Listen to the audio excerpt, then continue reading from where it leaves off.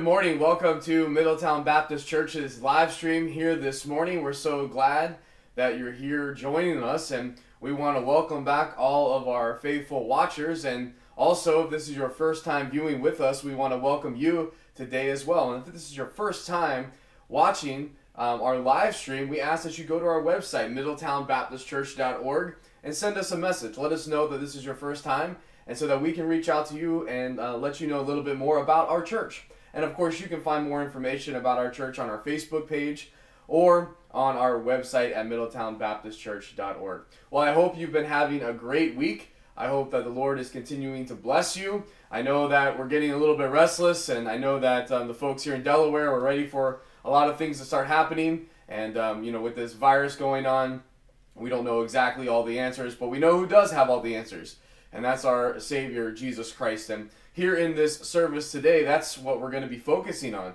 We're going to be focusing on the power of God. We're going to be focusing on how great our God is to us and the love that He has for us.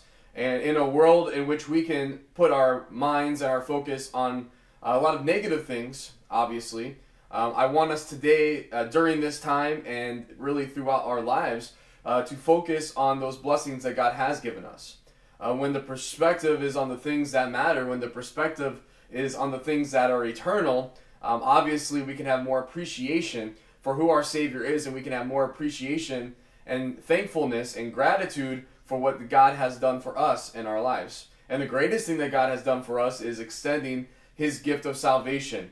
And so, most of you that are watching this video today, um, whether it be live or whether it be on the recording later, um, understand what that great gift of salvation is.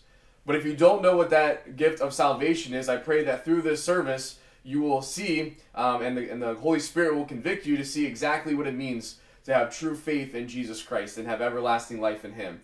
And so, really, our goal here today is to worship our Savior, um, to exalt His name, and then for us to grow in our faith and grow in our knowledge of Him, and then ultimately to present that gospel message, that good news message and so I encourage you as you sign on here today uh, to comment, to greet each other, uh, to say hello, uh, maybe even to give a testimony of what the Lord has done for you, or possibly a brief testimony of your salvation experience. And uh, that would be a blessing for a lot of people to see on the comment section. So let's continue to uh, write on the comment section and don't uh, necessarily get so distracted with the comment section that you forget about the worship service. But let's have a good balance here this morning of fellowship as well as worship uh, for our Savior. So we're going to go ahead and open up our service here with a word of prayer. And as we do that, I want you to unite your hearts together with me.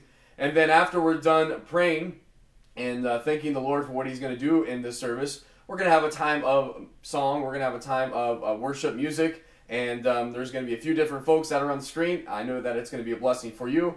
And um, most importantly, that we're singing these songs to praise our Savior, not to praise ourselves or to uh, make sure that we are showing off our great vocal range, but just simply to praise our Savior. So I want you to think about that and think about the words of these songs uh, that we're going to be singing. We're going to have some announcements a little bit later on in the service um, towards the end, so I don't want to lose you, but at the end of the service, we're going to give you some announcements about how we're moving forward and some plans that we have coming uh, here in the near future, and we want you to stay tuned for all of those uh, after the sermon here this morning. Let's go ahead and unite our hearts together in prayer, and we will continue on here with our worship service this morning. Lord, we do thank you for this time that you've given us to come here at the beginning of our week, Lord, and have this opportunity to worship you. Lord, help us not to just limit ourselves to our worship just for Sunday mornings. Lord, help us to live lives full of worship. Lord, we know that this is our corporate worship time, and I pray that we can um, see the importance of that. Lord, I pray that we can eventually, here very, very soon, get back to worshiping here in person together as a family, Lord. But we know that um, there are a lot of things going on, and we want to be respectful to um, to what uh, the rules are and different things like that, Lord. But we know that you have a plan, and we put everything into your sovereign hands, and we know that you are guiding us and directing us, and we pray that we can see um, the path that you'd have us take, Lord. We know that this is a this is a tough time for a lot of folks, Lord. But we thank you for the opportunity to have these uh, technological advances in which we can still come together in a, in a limited way through the um, through Facebook and through the different live streams, Lord. We're just so thankful for that. We're thankful for all the folks that have stayed faithful in this time to their faith, Lord. We're thankful for uh, the fellowship that we've been able to see, the the preaching, Lord, the the music, and all the folks that have been doing their best to continue to serve you. Lord, I pray that during this service today, that our hearts are stirred, Lord, that we can learn something about you, that we can apply a truth about you. Lord, I pray that if there's someone here today that doesn't know the true gospel message, they don't understand the hope of Jesus Christ, Lord, I pray that their eyes can be open and today can be that day of salvation. Lord, I pray that all of us can leave this service today edified, Lord, growing closer to you and growing closer to others and growing in our faith and understanding of who you are. And so, Lord, we thank you for what you're going to do, what you have done for us. We're thankful for the mercies that are new each and every day. We're thankful that we were able to wake up this morning um, and, and breathe and worship you. And I pray that through this service we can gain a greater appreciation of the blessings in our life. So I pray that you um, bless this service, Lord. I pray that you be with those folks that are watching. And I pray that we can uh, learn how to love you more through this service. In Jesus' name we pray. Amen. Amen. Join us uh, in song here this morning.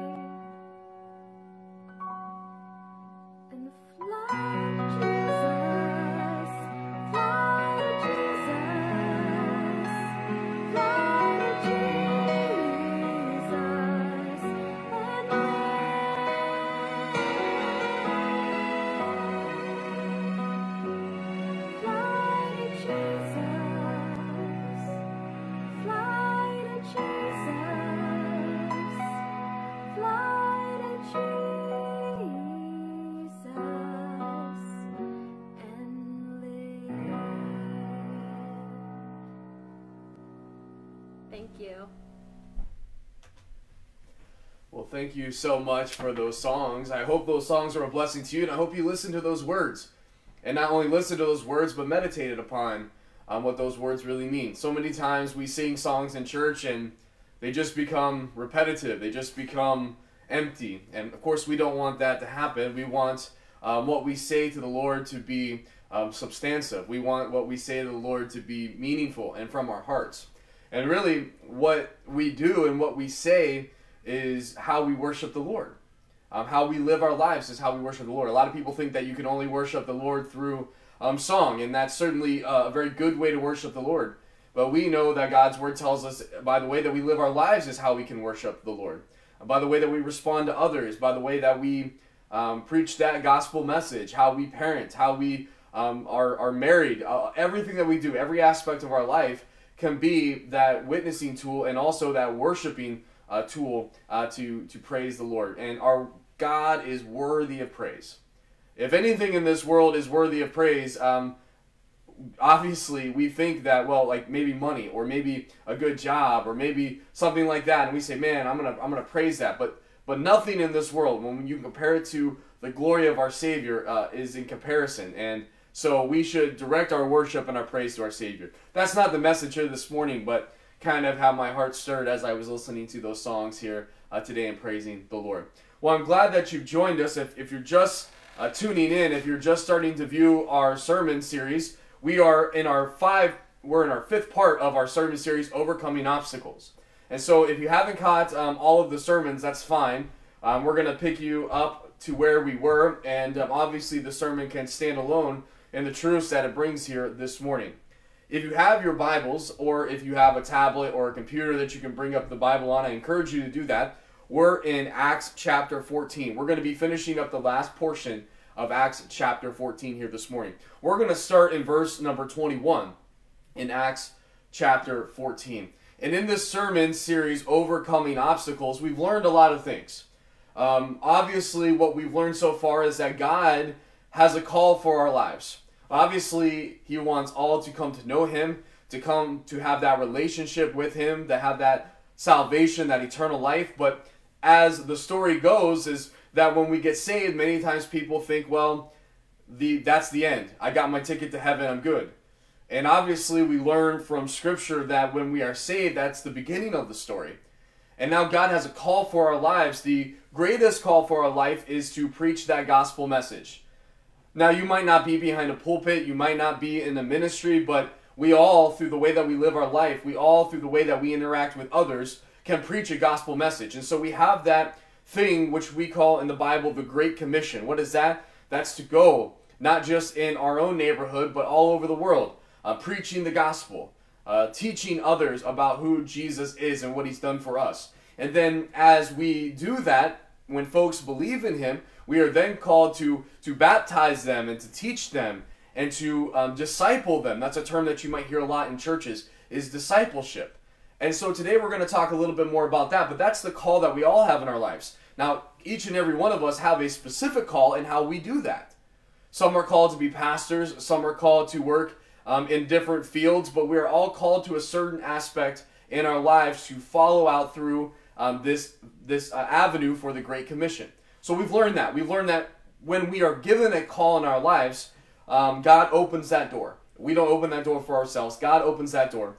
And as God opens that door and we are willing to follow along with that, um, we then are directed by Him. So He directs our path. We don't direct our own um, life. Sometimes we try to direct our own lives, but in the proper perspective of Scripture, we're to allow God to direct our lives. But as God directs our lives, we are going to find ourselves in times where we're going to face opposition. We're going to face trials. We're going to have obstacles. And a lot of people believe that these trials or obstacles are um, reasons or justifications to stop doing what God has called them to do.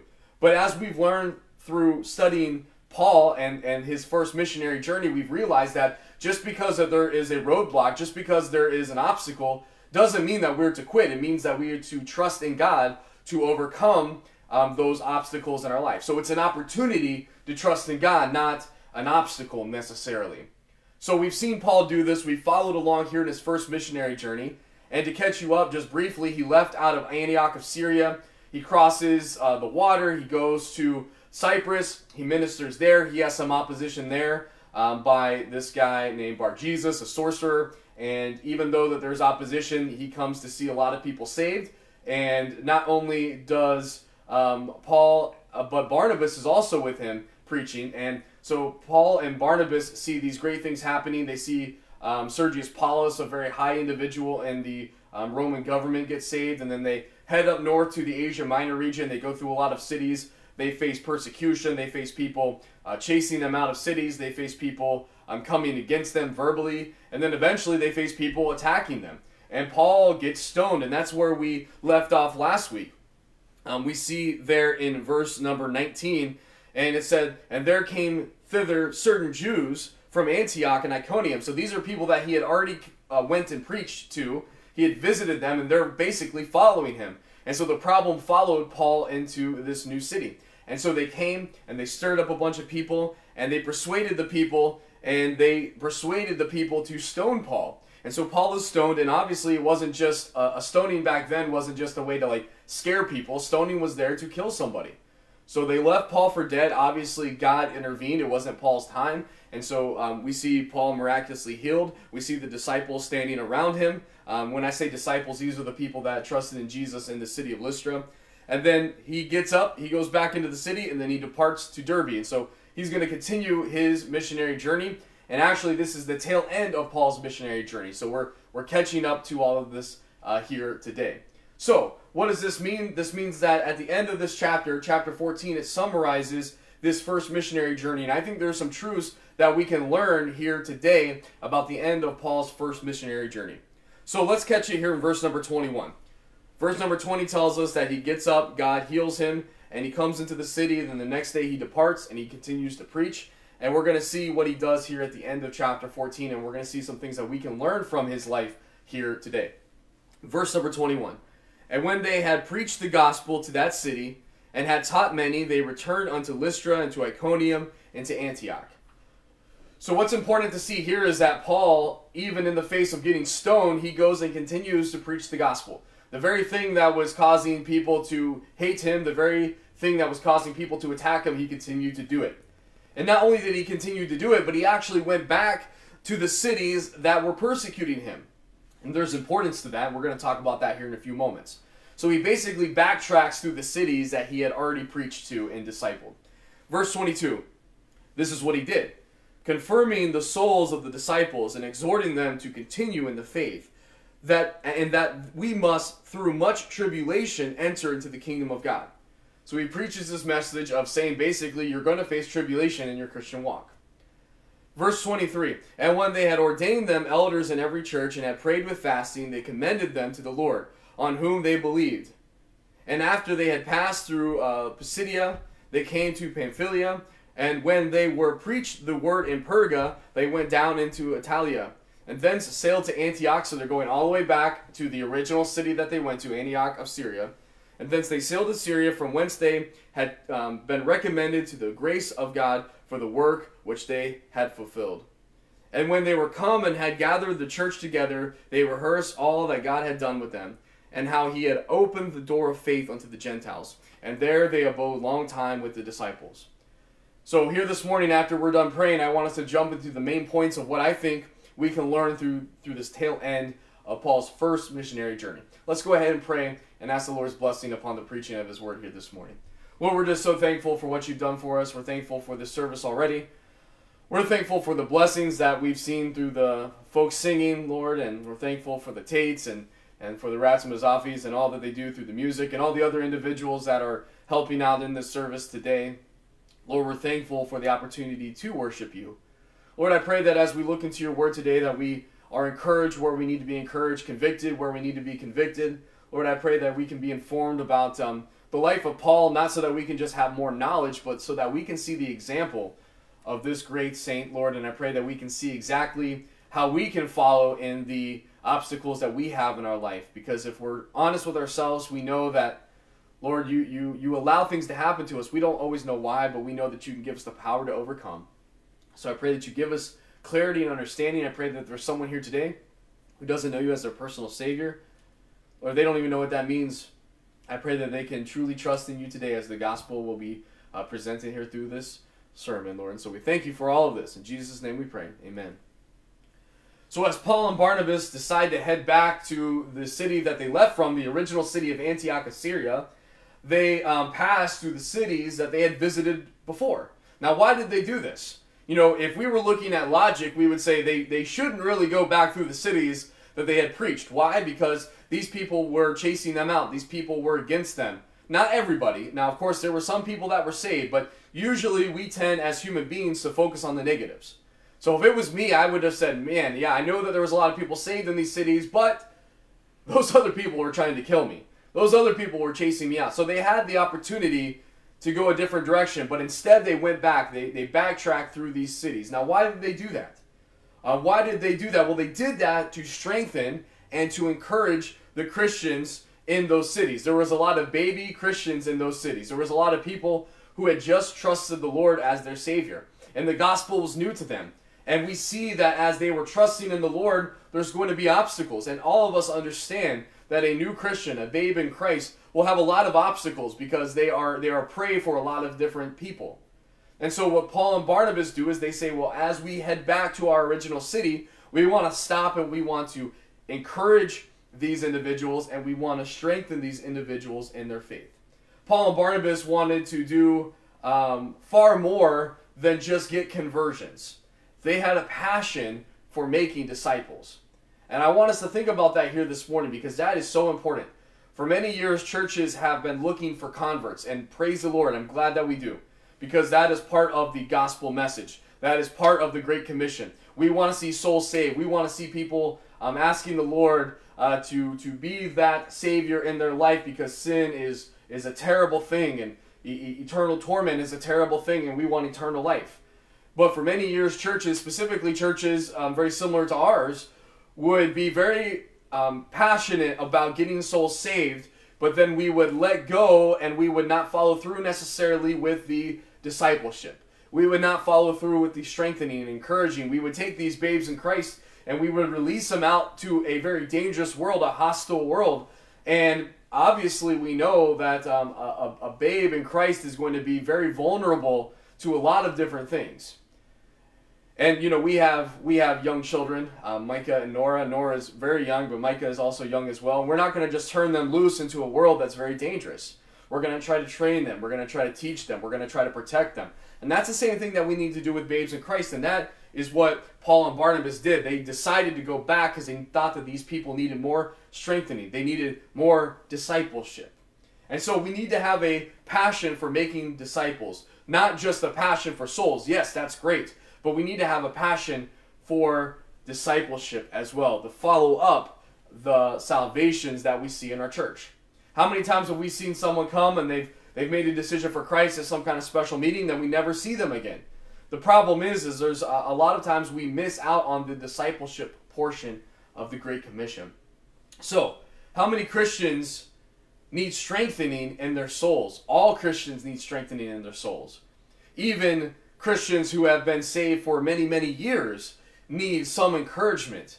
And so when we look at these young Christians that Paul and Barnabas dealt with here, there's no doubt in our minds that they need somebody to come back and give them some more teaching and to give them some more guidance and to give them some more discipleship. And so that's something as we move forward as a church, and anybody who's watching here today that's a believer, possibly you even might go to another church. Uh, maybe you're not in this area and you, you have another home church we need to be very vigilant in our churches today about discipleship.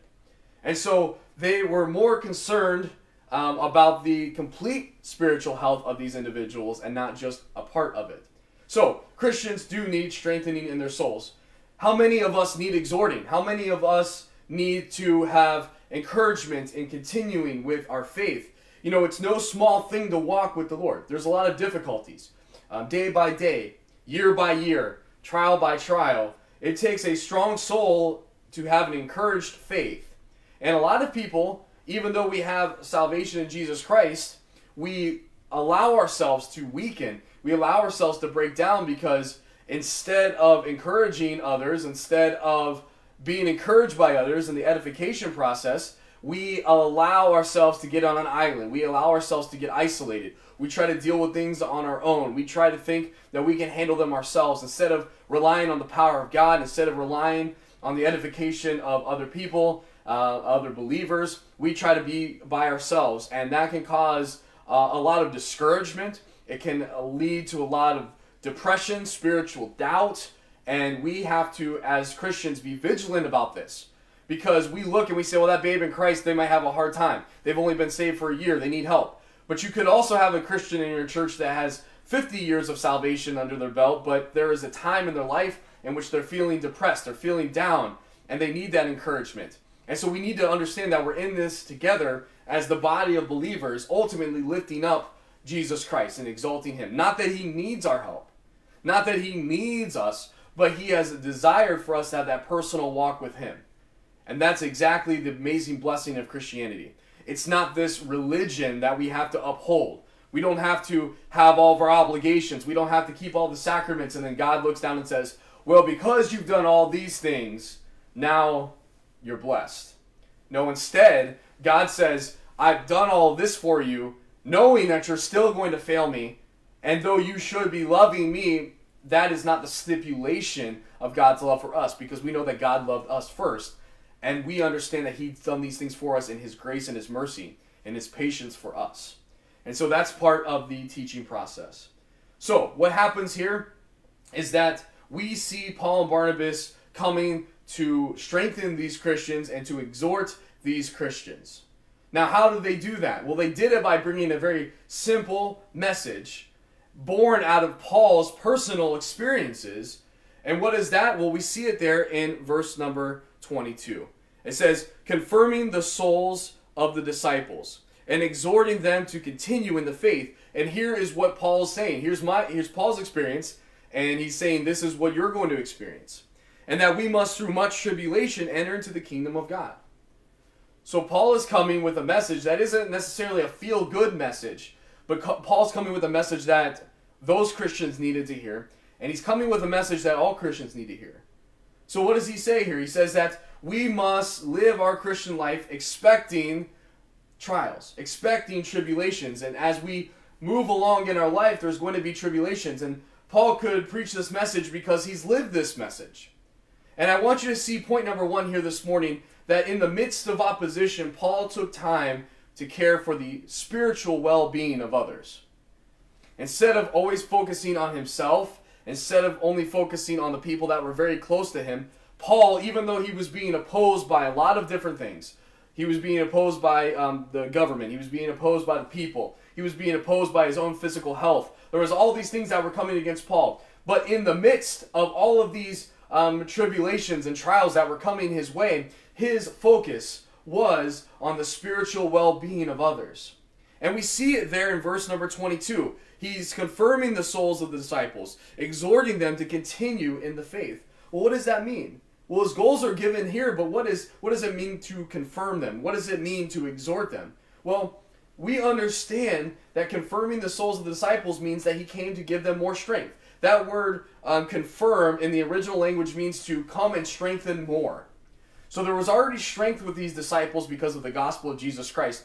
But what Paul was coming to do was to fortify their doctrines, to fortify um, their beliefs and their organization and all these different things that we're going to talk about here in a few moments. So he comes to do this in the confirming of these disciples, but also we see that word exhorting. So he comes confirming the souls of the disciples, and then he comes exhorting them to continue in the faith.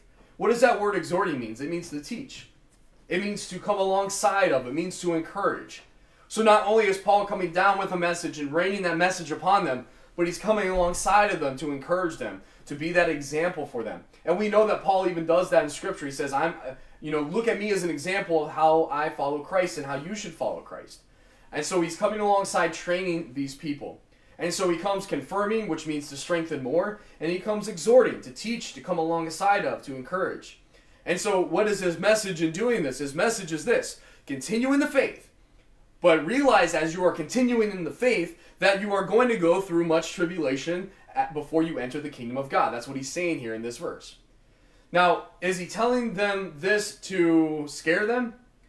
Well, we're going to talk about that here in a few moments. But what is he doing? He, he's he's coming to give them this message, and he's saying, "Don't be discouraged when trials happen. Instead, we should be encouraged in the Lord, and then through that, we should be encouraging others." Paul made it very clear that it was not an easy thing that they would have to do. They would expect trials. There would be suffering. Um, but before that they would see the Lord in glory, these things would have to happen.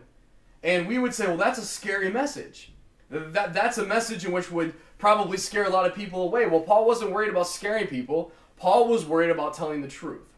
And so these truths were not given to frighten people, to scare people. These truths were actually given to strengthen them in their faith, to give them confidence in the Lord, to give them confirmation that they're doing the right thing. Because what Paul's saying is, hey, look, I'm trying to do the right thing for the Lord. I'm facing opposition. If you face the uh, opposition, that might mean that you're doing the right things for the Lord.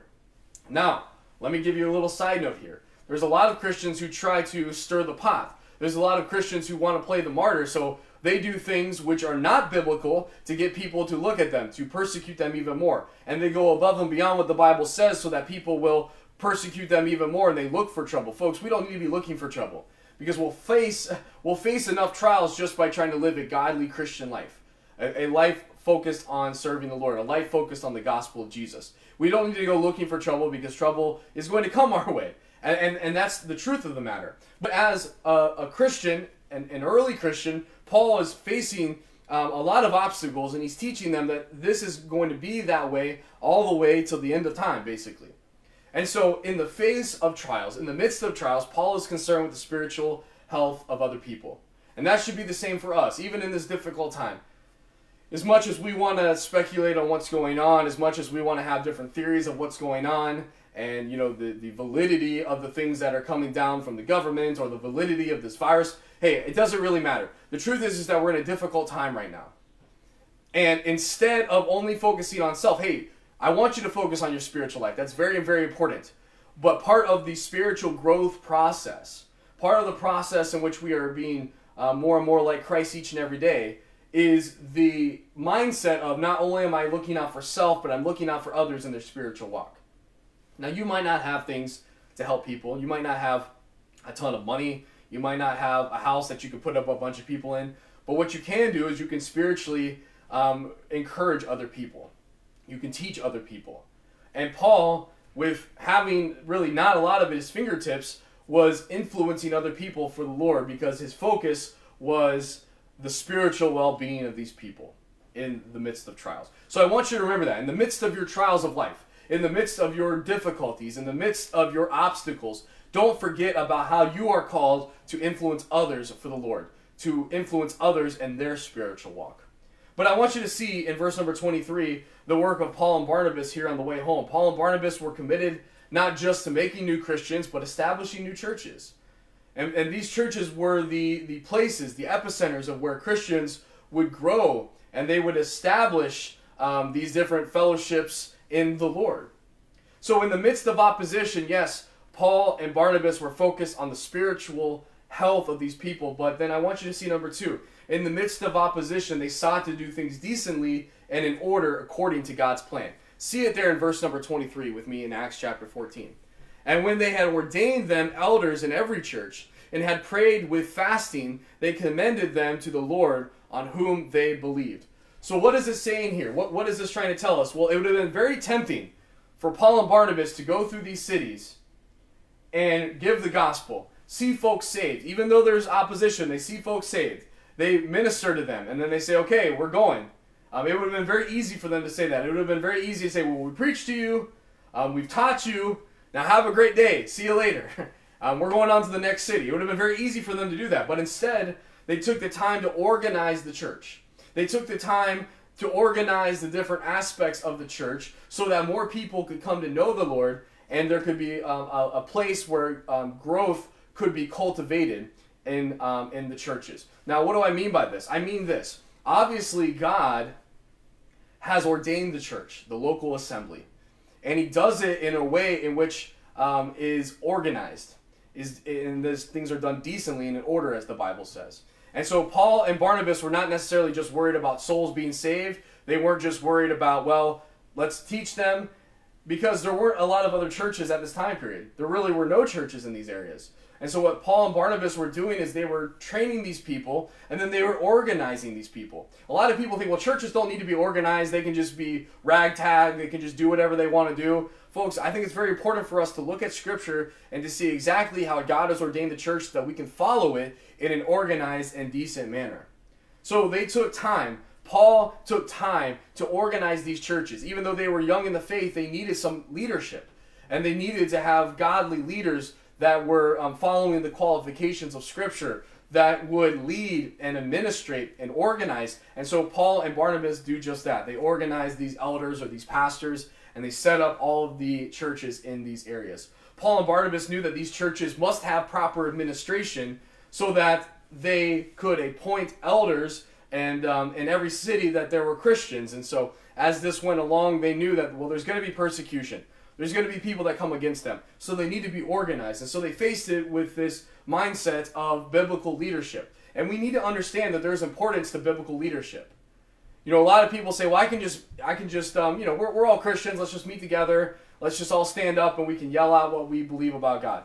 Folks, there's, there is precedent in Scripture. There's commands in Scripture for there to be organized leadership within churches.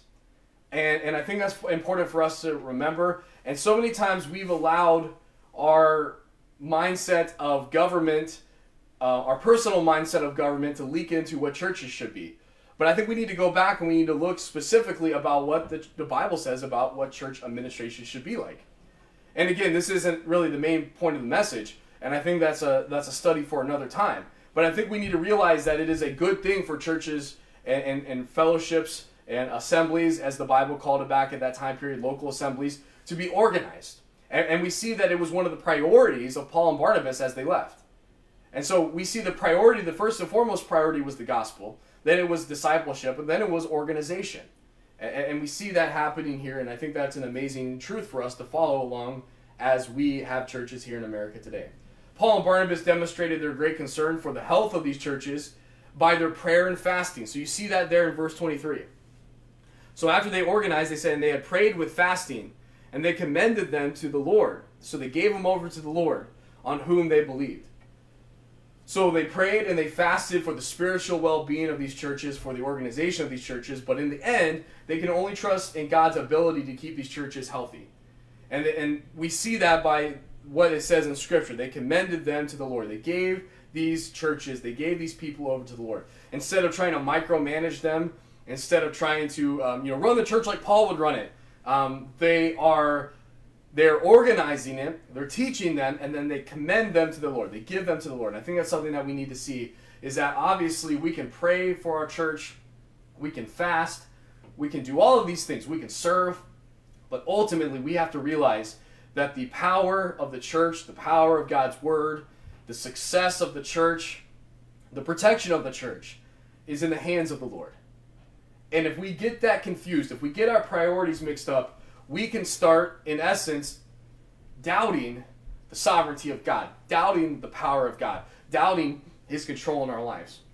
And so we see that Paul and Barnabas, yes, they prayed and they fasted, but they gave it over to the Lord.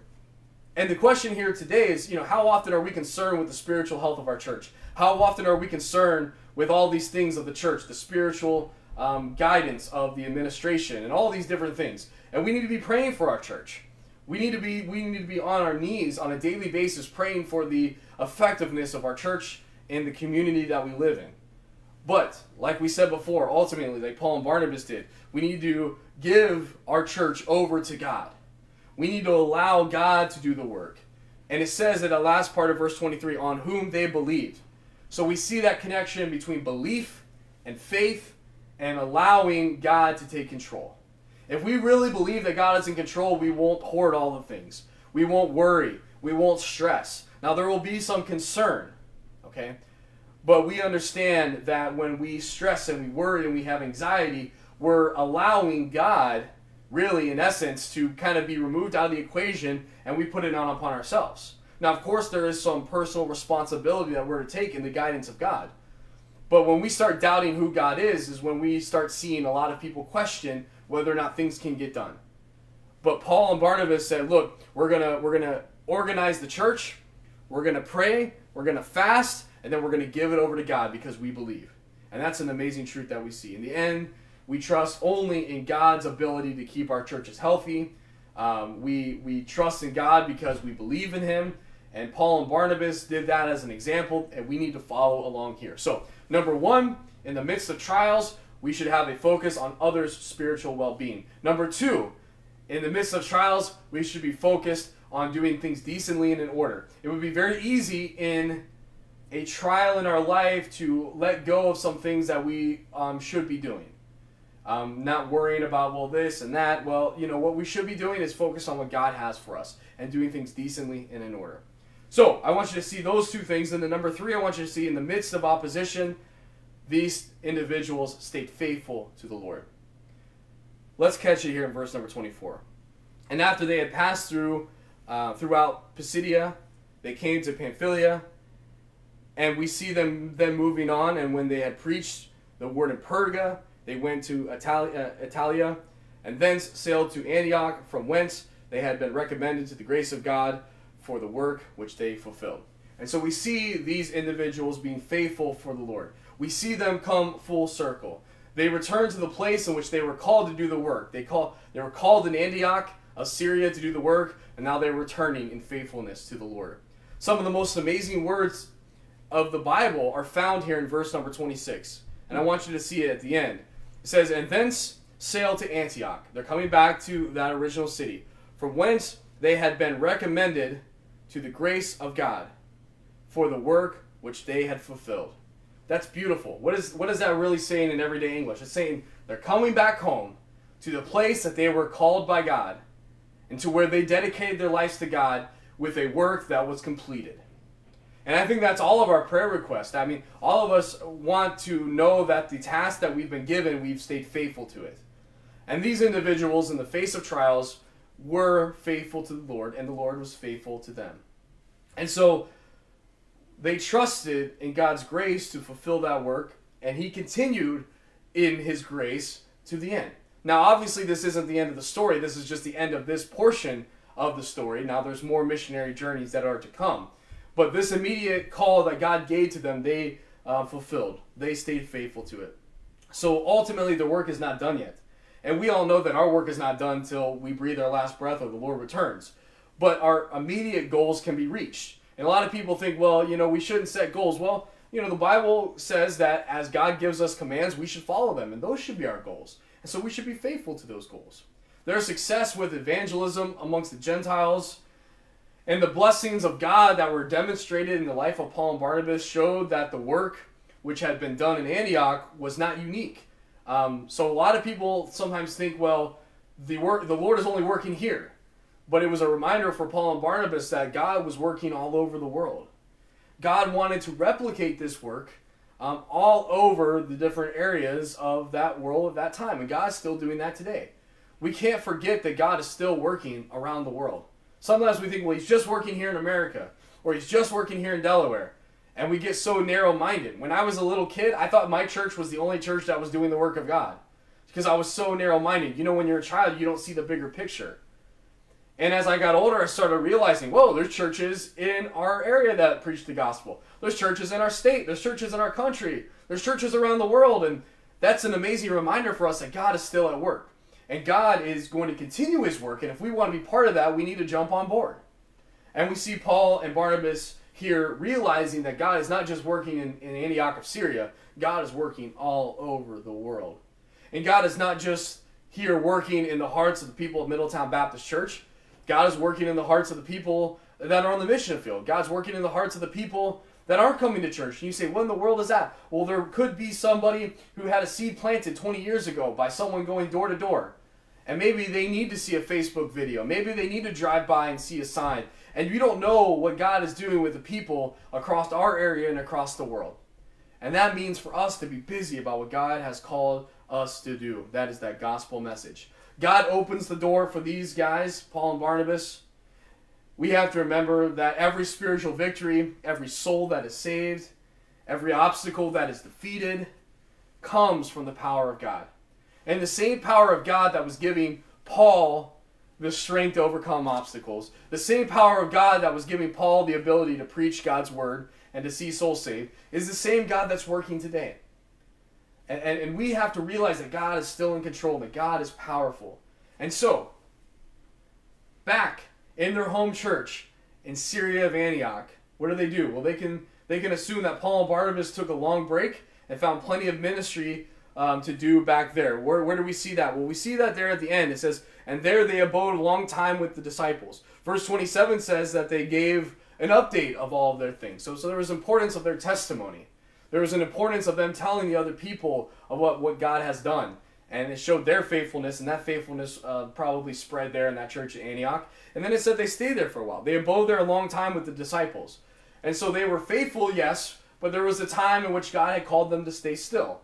And no doubt, in my mind, that Paul and Barnabas stayed busy in that church in Antioch. They didn't just sit down and say, well, we're going to take a sabbatical. We're just going to sit and sip our, you know, uh, drinks there by the water. No, I think Paul and Barnabas were busy in that in that church at Antioch until they were called to the next step of their missionary journeys. And we're going to see next week that the story's not over for Paul and Barnabas. They get back, and some religious leaders are going to start questioning um, what the gospel message really means. So, number three, in the midst of opposition, they stay faithful to the Lord. And lastly, I want you to see this, and then we'll be done. In the midst of opposition, they were prepared for the work of God. Like I said before, they weren't just sitting around waiting, not doing anything. They were staying faithful, they were preparing themselves, they were studying God's word, they were ministering. The trip was, uh, was a great success. And a lot of times in our Christian walk, sometimes off of the heels of success, we can kind of get um, relaxed. We come off of a great revival, or we come off of a great junior camp, or we come off of a great um, sermon, and we're like, wow, this is great. And the tendency is to say, we've done a lot for God, now we can kind of take a break. And they did not do that. Uh, the trip was a success, though there were a lot of great obstacles in their life. The difficulty of travel, the confrontation of the sorcerer there in Cyprus, um, the quitting of John Mark, if you remember that, one of one of the uh, loyal subjects, the loyal disciples of, of Paul and of God, um, left them. He went back home, so that was difficult for them. They had been driven out of the cities of Antioch. They had been driven out of the cities of Iconium. Um, there was a temptation to receive the praise from those people that were saved. Um, they had been stoned in Lystra. So the, the list was long of the things that they overcame. But Paul and Barnabas, through this, would not be deterred from the work that God had for them. And so the question here today is this What will it take for you to back down from the will of God? Or the question can be posed in a positive nature What will it take for you to stay consistent and faithful to what God's call for you in your life is? What kind of temptation or obstacle or opposition will hinder us? I hope nothing. I hope, I hope you say, well, nothing will stop me. But many times, by the way that we live our life, our testimony speaks louder than what we say. Can we have the heart of Paul and Barnabas to, to not allow anything to stop us? Uh, I hope so. Nothing stopped Jesus from doing God's will on our behalf. And as we look at Him, we have the power to overcome any obstacle in our lives. We have the power to overcome any difficulty in our lives. But so many times when we're pressed with some pain, when we're pressed with some opposition, we back down. And so the question here this morning is are we willing to continue moving forward? Are we continuing the gospel of Jesus Christ? I would love to tell you that the story ends here for Paul and Barnabas. I would love to tell you that they went on living in Antioch and retired and continued to see all these blessings and everybody in the world agreed with them. But we know that the story does not end here. We know that Acts chapter 15 tells us that there are some folks in Jerusalem that were saying that there are things that they needed to add on to the gospel of Jesus Christ. And so Paul and Barnabas are going to have to say, okay, they have to pick up their mantle. They have to pick up, you know, put on, roll up their sleeves and say, let's go down and start defending the Lord. And that's sometimes how it feels like in the Christian walk. We want to just relax. We want to just get to a point of coasting.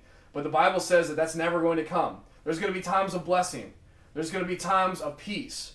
But ultimately, we know that full satisfaction and full peace and, and, and full comfort comes when we reach our everlasting home, when we reach the eternal place, the eternal destination of heaven.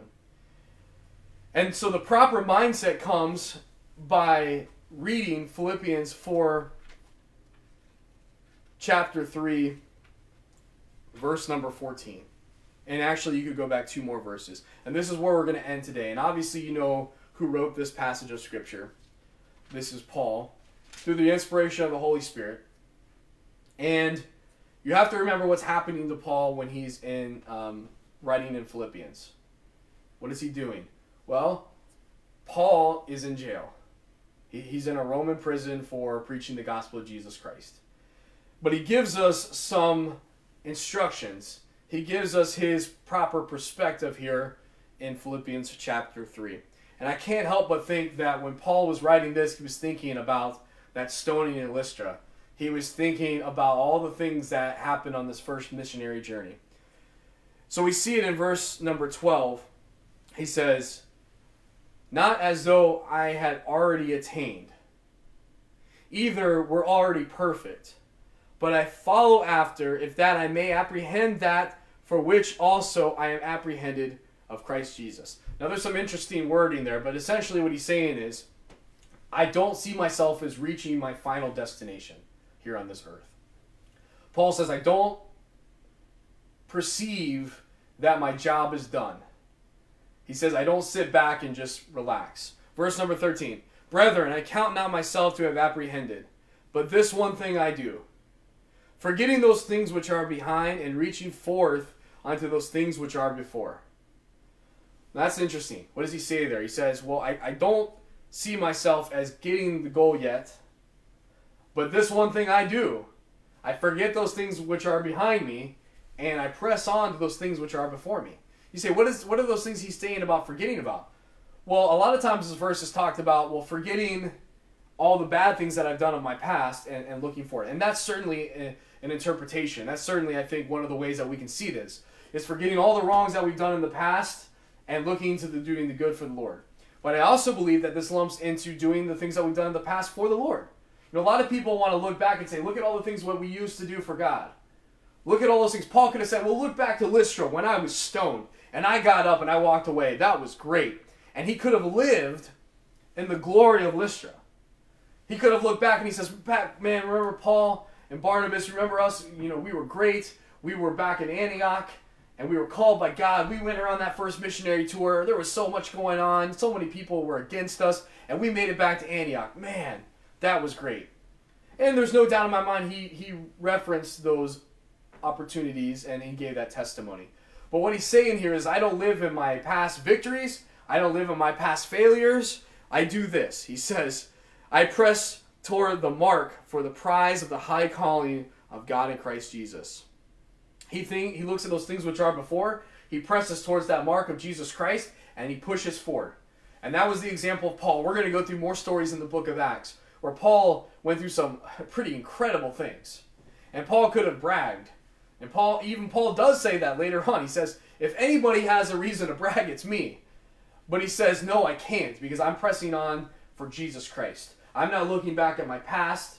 Now we can look at our past and say, man, praise the Lord for those things that he did. But if we stay there and we don't move on to what God has for us today, if, if we don't move on to what God has for us next week, next year, then we're missing out on the blessings that God has for us in the future, and we're missing out on the opportunities to minister.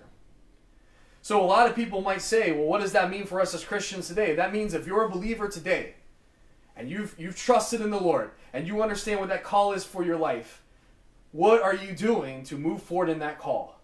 What are you doing to better yourself in your Christian walk? What are you doing to extend your gospel reach in your sphere of influence? Well, you might say, well, I go to church. Well, that's great. Church is a place for you to find your ministry. Church is a place for you to serve. But remember, the church is so much bigger than just the activities. The church is so much bigger than just the building. The church is the body of Christ and our influence in our community. Church can happen on Monday. Church can happen on Friday. Church can happen at the ball field. Church can happen, uh, you know, anywhere. You might say, what are you saying? We're not supposed to assemble? No, we're supposed to assemble. And I'm longing for the day in which we can be back together. And I know that that's coming soon, and we've got more announcements about that coming. But what I'm trying to tell you is that your individual gospel outreach can be done anywhere, anywhere. And so I encourage you to do that, to inspect your life, to say, have I allowed something in my life, whether it be small or whether it even be a great trial, to hinder my walk with the Lord, to hinder my daily devotions, to hinder my prayer life, to hinder my witness, to hinder my spiritual concern for other people and their spiritual walk. Because what happens sometimes is when we're hurt, we, we go into our shell. Mike has got a pet turtle. And when we go, you know, because I go to grab the turtle sometimes because that's just what I like to do. And I, I, when I grab the turtle, he goes into a shell, right? And so many Christians are kind of like that. We're, we're big and, and bad, and we walk, we talk the talk, we walk the walk until that big hand comes at us, that trial comes, and we go in our shell. And there's nothing wrong with being an introvert, and there's nothing wrong with being an extrovert.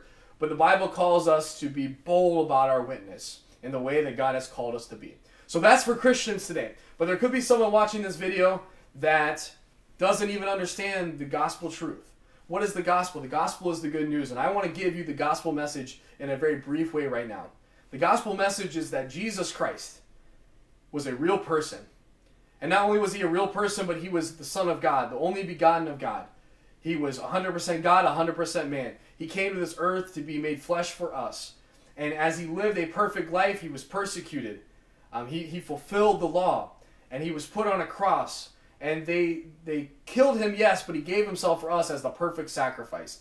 And that perfect sacrifice is why we can have salvation in him. It's not in our good works, it's in the fact that we've trusted in the righteous sacrifice of Jesus Christ, the substitutionary death. And that's what we always celebrate. And so, what many people tell you is you got to live a good life. Well, I'm a good Baptist. You know, I'm a good Christian. Well, really, truthfully speaking, no one's a good Christian. You might you say, what? Guys, we're, we're all failures because we can't keep the law. We cannot keep the law. We can try, but we can't keep the law. So, what saves us? Faith in Jesus Christ saves us. Faith in the one who is righteous saves us. And it's by grace that we're saved, not of works that we do. Because if it was of works that we do, we could boast. And so Romans 3.23 tells us that all sin and come short of the glory of God. Romans 6.23 says the wages of sin is death. That's physical death, yes, but also spiritual death. And because of our sin, we are we are guilty. And because of our guilty um, nature, we now have to have a penalty. And that penalty is called hell. It's eternal punishment, separation from God.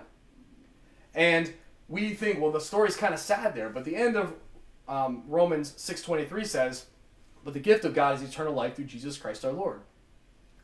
So the gift is the fact that we can trust in Jesus Christ as our Savior, and that we can ever have everlasting life in Him, and that we can spend eternity in a place called heaven. And so you say, well, I want, I want that. I desire that. I, I want to know what it means to not be relying on self, but rely on God and have true biblical salvation. Well, you say, what do I do? Do I have to sign up for your church? Do I have to say a prayer? Well, what it says in the Bible is that if you believe in your heart and confess with your mouth that Jesus Christ is Lord, you repent of your old ways. Doesn't mean you're going to be perfect, but what it means is that you turn away from sin and you turn away from yourself to save you and you turn to God to save you. If you do that and you trust in Him and you call out to Him, He will save you. And so the truth is this morning is that you don't have to jump through hoops. You don't have to become a perfect person. You don't have to get cleaned up because the job of the Holy Spirit is to clean you up at salvation. And so a lot of people get that flip. They say, I have to get this all right, then I'll come to God. No, come to God and He'll clean you up. He'll change your life. And the Bible says that you'll be a new creation in Him.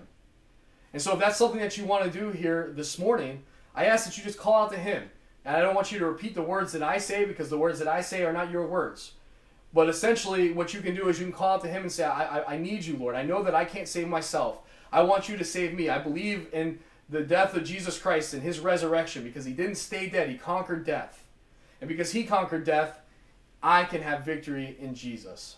And that's what true victory is. True victory is not winning a court case. True victory is not me getting a bunch of money. True victory is me not winning the Super Bowl. True victory is having the hope in Jesus Christ. And so this morning you can call out to Him after I'm done praying, or you can even do it right now. you can call out to God and trust in Him today as your personal Savior. I'm going to go ahead and close our service here with the word of prayer. And as I'm praying, I'm asking you to reflect on your life. Christian, today, what are you doing for Him? What are you doing in the face of obstacles? Are you living with your eyes focused on the obstacles instead of focused on Him? If that's the case, turn your eyes back to Him.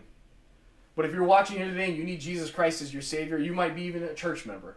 But if you realize that you haven't trusted in Jesus as your Savior, I pray that you do that now. As I pray, I want you to unite your hearts together with me in a time of reflection for the Lord. Let's pray. Lord, we're thankful for this time that you've given us. We're thankful for decisions that were made, decisions that are being made right now. Lord, we're thankful that you've given us the example in Scripture to see how we can overcome these obstacles in our life. And Lord, we know that all of these obstacles are nothing in the presence of our King, Lord, in the presence of, of, our God. Lord, we know that you are amazing. We know that you're powerful. We know that you're in control. And Lord, I pray that you can give us peace and comfort in this time. Lord, I pray if there's someone right now who's even calling out to you, Lord, I pray that you give them clarity and understanding. Lord, I pray that they can receive you as their Savior and they can have the courage to reach out to a local church, um, reach out to our church, and Lord, that they can get more information on how they can be discipled. So, Lord, I pray that you continue to bless in the service. We're thankful for all those individuals who watched here today. We're thankful for uh, the opportunity to worship you. And we pray that you continually uh, bless us here this week. In Jesus' name we pray. Amen. Well, amen.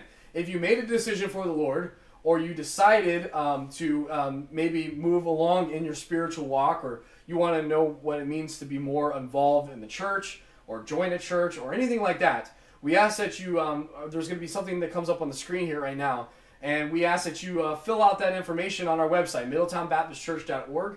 At the bottom of the page, there's a, a, place where you can write a message. We want you to write a message to us. Or you can even email me. If you need prayer, if you need something to talk about, um, you need some counsel and some things. Now, of course, I, I don't know that I have all the answers for you. But we do know who has all the answers, and we know who the Savior of the world is, and we know that His Word is true, and that it's holy, and that it's perfect. And so, if there's any way that you'd like to communicate with us about that, if you have questions, we'd love to um, correspond with you and we'd love for you to send those in. So, please, if you made a decision for the Lord today, don't feel ashamed. Um, instead, feel confident in your Savior. Reach out to us because we have information that can help you even more in your growth in the Lord. There's things that we can send you. There's things that we can lead you to that can that we that you can see um, the great way that can God can work in your life and that you can continue on here in the growth process. Well, thank you so much for watching today. I hope that your hearts were encouraged through this message and challenged through this message. And I pray that as a church and as individuals that we can grow closer uh, to the Lord uh, through our services here. Now, normally this would be the time where we pass around our offering plates, and that's going to be probably something of the past um, because of all these different viruses. Until we get back to normal, we probably won't be ever passing plates. Um, there will be alternate ways to do that. But we also have alternate ways to do it right now.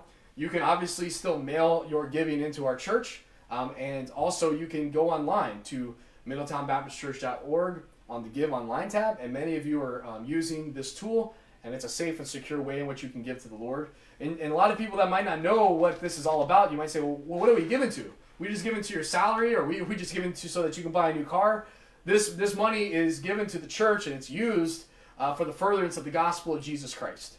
And, there, and there's many ways in which that is done, but we understand that um, what you give to the Lord is not so that you can get the pastor's attention, so that you can do all these things and get you know a, a button on your shirt that says I'm a you know a two-time donor or a five-time donor. This is all between you and the Lord, and God commands us to stay faithful in our giving, to be cheerful in our giving, um, and to support um, our local churches and also missions. And so there's many ways that you can get involved giving at our church, but two of the major ways is just through the regular general fund and also through our missions department. We support 26 missionaries around the country, or around the country, around the world, excuse me, somewhere in our country and some around the world. And when you do that, um, it goes directly to them if you give towards missions, and there's a tab that you can give towards that. Well, thank you so much for being such a supportive group. Thank you so much for watching today. And uh, we want to let you know that we're doing a lot of things, um, a lot of plans in the church. Some people have asked me recently, when are we when are we meeting again? Um, that's an answer I can't give you exactly, but I can tell you that we're getting closer. Many of you saw the press conference about uh, opening up phase one in June, um, June 1st. And there are some things that were given along with that and some guidelines. And we're working um, towards opening up there in early part of June.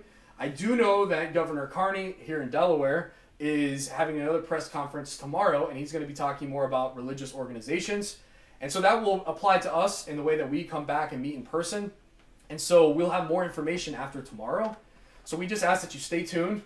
We ask that you stay um, patient with us as we're um, thinking of plans and um, coming up with ideas on how to meet back again. And you're going to find people on both sides of the argument here. And what we're trying to do as a church is we're trying to coincide all these things um, to have your safety in mind, to have your spiritual well being in mind. And so we're doing our best um, as a church. And so I ask that you stay faithful with me. If you, if you question that, that's okay. Um, it's, it's, you know, you're free to do that. But we just ask that um, we have church unity in all of this and we stay faithful to what God has called us to do. We will still continue to do many things online so that it's a gradual shift. And we will still continue to do things online even when we come back in person. But we just ask that you stay faithful to checking out our Facebook page, our YouTube channel, our website, and here's all the places in which you can get information. So, check out tomorrow. We're going to post a graphic on our Facebook page that will give you the schedule of things. Um, we have our Monday devotion in the evenings. We have our Tuesday morning devotion, Coffee with the Pastor, live at 10. Wednesday nights at 7 p.m. We have our Wednesday um, prayer time and uh, Bible study. Thursdays are Kids Day. Um, Friday we do a time of updates and announcements and also a question and answer time.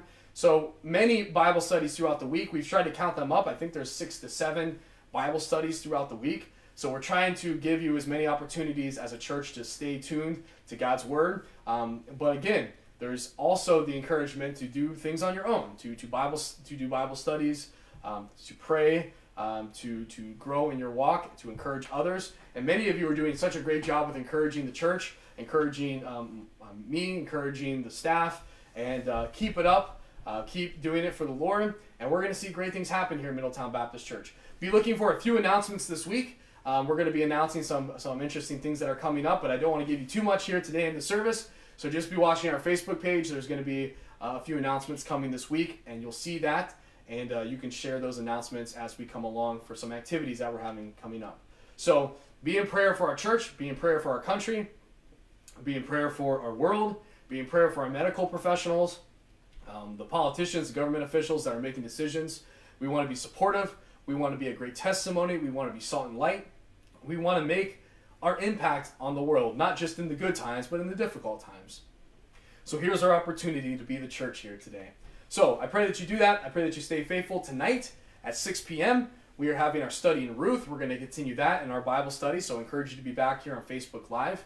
Also, we do a Bible study um, for adults before our Sunday morning service. This morning, um, the program that we used, there was some uh, hindrances and sort of some maybe some problems with their um, technology. So I'll give you more information about that if you're interested in that Bible study. And also, we do a virtual lobby after the service today.